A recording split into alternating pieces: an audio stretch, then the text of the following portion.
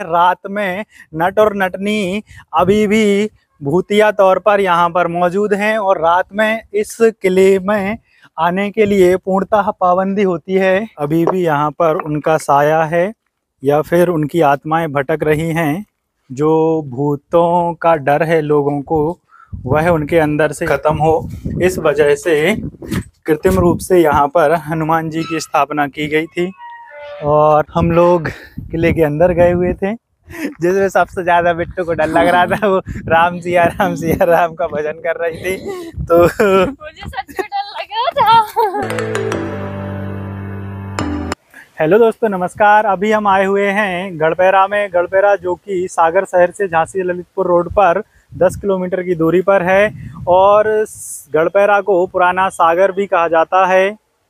यह है गढ़पेरा दांगी राजाओं की राजधानी रहा करता था पहले, और इसकी जो प्राचीनता है वह राजा संग्राम सिंह के समय की है। उसके बाद में इस पर दांगी राजाओं ने या दांगी शासकों ने दांगी राजपूत शासकों ने कब्जा कर लिया और वह इनके अंडर में आ गया। और यहाँ पर हनुमान जी का प्रसिद्ध मंदिर भी है, जो कि यहाँ के किले के इतिहास को लेके बाद में बनाया गया। यहाँ पर ऐसा यहाँ के जानकार बताते हैं।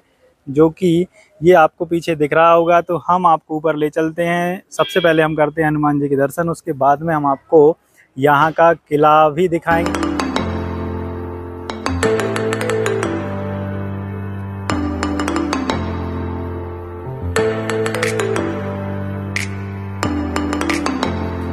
और दोस्तों, जो भी घर पे आए ना तो सबसे पहले लाठी देख ले, क्योंकि यहाँ पे बहुत सारे बंधन हैं, जैसे कि ये हैं, ये दिख रहे होंगे। और पर कोई भी सामान लिए रहते ना तो ये बंदर लोग ना खींच लेते हैं। इसलिए उनको पिटाई लगाने के लिए लाठी लिए हैं, क्योंकि लाठी से बंदर डरते हैं। इस किले के इतिहास में एक भूतनिया, भूतिया कहानी भी है, जो कि हम आपके लिए वहीं किले पे ले जाके सुनाएँगे। नट और नटनी की कहानी।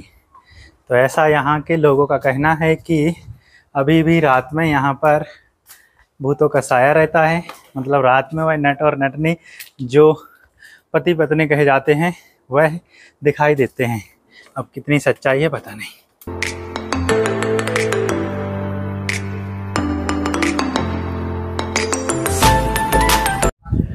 तो दोस्तों, ये यहाँ से एक रास्ता ये चला जाता है किले के। तरफ़ और ये दूसरा रास्ता है जो आर्टिफिशियल मंदिर बनाया गया हुआ है। यहाँ पर अभी हम आ चुके हैं। ये मंदिर है यहाँ का, जो कि यहाँ की जैसी कहानी है किले को लेकर। उसके बाद ये मंदिर का निर्माण कराया गया, ताकि भूतों का साया कम रहे। हनुमान जी की स्थापना की गई।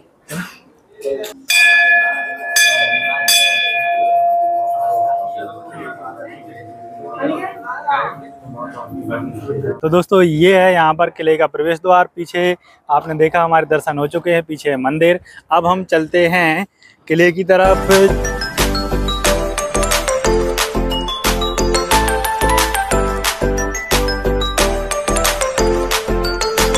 तो दोस्तों, ये है किला का रास्ता।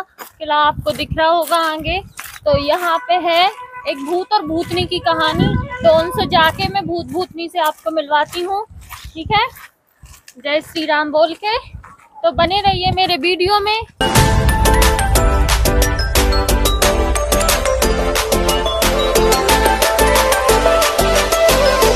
तो दोस्तों, यहाँ पर प्राचीन समय में जो राजा हुआ करते थे, उनके राज्य में एक नट और नटनी थे। नट, नटनी एक करतब दिखाने वाले। इस तरीके से अभी आपने नुक्कड़ों पर या फिर गलियों में, मेलों में देखा होगा करतब दिखाते हुए। तो वह नट और नटनी यहाँ पर इनके शासनकाल में, राज्य में करतब दिखाया करते थे और काफ़ी उनका जो कर्तव्य था वो प्रचलित था।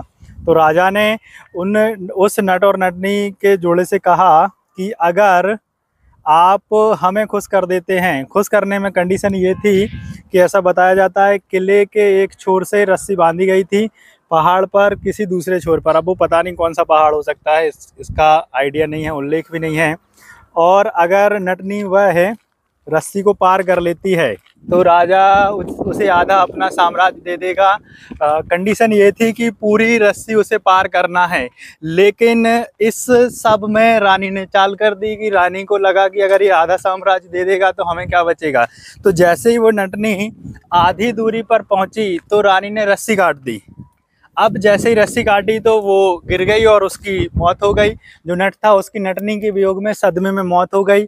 और ऐसा माना जाता है, कहा जाता है, यहाँ के ग्रामीण लोग अभी भी बताते हैं कि वह रात में नट और नटनी अभी भी भूतिया तौर पर यहाँ पर मौजूद हैं और रात में इस किले में आने के लिए पूर्णतः पाबंदी होती है किन्हीं भी आदमी को।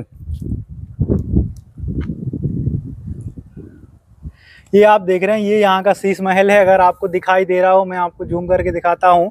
ये यहाँ पे कांच दिख रहा हल्का हल्का तो ये यहाँ का शीश महल है, जो कि दो तीन खंडों में है और ये लगभग जर्जर हालत में है। लोग अभी भी वैसे इस पे ऊपर जाते हैं, बाकी मैं सलाह दूँगा आपके लिए कि आप कभी भी आएँ, जब भी घूमने तो ऊपर ना जाएँ, क्योंकि ये कोई खतरे से खाली नहीं है, पुरानी इमारत है, जर्जर हो चुकी है, कभी भी गिर सकती है और हादसा कभी भी हो सकता है। तो बढ़िया, दूर से ही देखें। तो दोस्तों, इस तरह से जो नट एवं नटनी की कहानी है, उसमें कितनी सच्चाई है, ये तो नहीं पता, लेकिन ऐसा भी बोलते हैं लोग कि नट एवं नटनी भूतिया तौर पर अभी भी यहाँ पर उनका साया है, या फिर उनकी आत्माएँ भटक रही हैं। और फिर इस तरीके से नट ने और नटनी ने यहाँ के राजा को श्राप दिया कि तुम्हारा साम्राज्य ख़त्म हो जाएगा, क्योंकि इसमें रानी ने, जैसा कि मैंने आपको बताया, धोखा दिया हुआ था आधी साम्राज्य आधी संपत्ति जाने के डर से।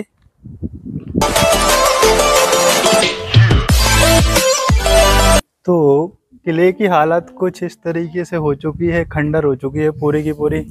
आप लोग देख सकते हैं, ये यहाँ पर अंदर का नज़ारा कुछ ऐसा है।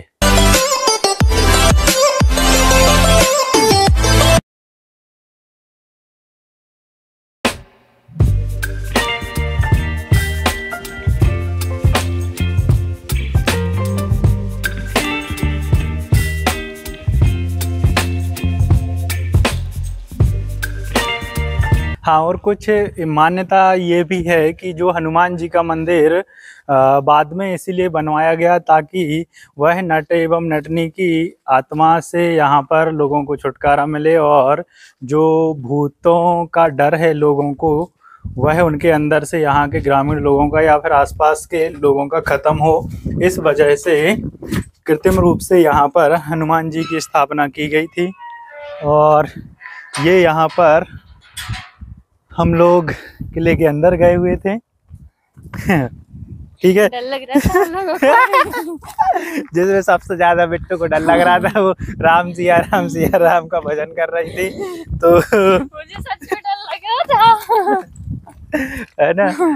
वो ऐसा यहाँ का कुछ नज़ारा है जो कि पुराने किले हैं तो हर जगह की लगभग खंडहर ही पड़े हुए हैं और दोस्तों इस किले के पीछे भी यहाँ पर पीछे कोई एक मंदिर है जहाँ पर हम लोग नहीं पहुँच पा रहे हैं अभी समय अभाव के कारण। बाकी अगर आप कभी आएँ तो आप घूमने जा सकते हैं। और दोस्तों यहाँ पर गढ़पैरा में अषाढ़ माह में प्रत्येक साल बहुत बड़ा मेले का आयोजन भी होता है और बहुत सारी यहाँ पे दुकानें भी लगती हैं। और अषाढ़ वगैरह भी होते बहुत ही बड़े हाँ अषाढ़ में यहाँ पर अषाढ़ मतलब जुलाई के माह में प्रत्येक मंगलवार को यहाँ पे मेला लगता है। और इस तरह से कुछ यहाँ की कहानी है। तो दोस्तों, इस ब्लॉग को हम यहीं पर एंड करते हैं। आई होप कि आपको ये ब्लॉग पसंद आया होगा। पसंद आया होगा और हम लोग इतनी मेहनत कर रहे हैं, इतनी धूप में आए हैं कराके की जो आपको दिख ही रही होगी, देखो कितनी तेज धूप है। तो आप लोग प्लीज़ मुझे सपोर्ट करिए, ठीक है? वीडियो को पूरा देखिए। Thank you